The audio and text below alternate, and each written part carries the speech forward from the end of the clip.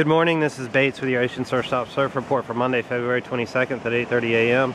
The Icebox Open will be held one weekend this month. Keep an eye on our website to find out when we might be calling the contest. We'll let you know if it's this weekend, uh, probably around Wednesday. Um, call the shop at 588-9175 for details. Also, our wetsuits are on sale, 25% off. Come get some neoprene at a great price. We got booties and gloves and hoods, all that stuff. We're um, unloading it. Um, as in uh, by April, it'll probably be warming up some.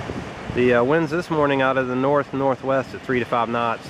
Surf this morning at the washout is flat and clean. We should see southeast winds at 5 to 10 knots this afternoon, adding uh, a little bit of bump to uh, some pretty small waves, especially as the tide backs out this afternoon. High tide will be at 11.43 a.m. and low will be at 5.58 p.m. The Edisto buoy is reading 2.3 feet at 4 seconds, but that northwesterly wind is keeping the swell well out into open waters. The National Weather Service marine weather forecast calls for cold high pressure to shift across the area today. A weak wave of low pressure will move across the Gulf Coast and southeast states Tuesday before crossing into Atlantic waters. The cold front will impact the East Coast Thursday and Friday. Waves look to trend small early week, but we could get a small suck-up wind swell ahead of a cold front Thursday. We'll keep you updated on that forecast. It's sunny this morning with air around 34. It is cold out here.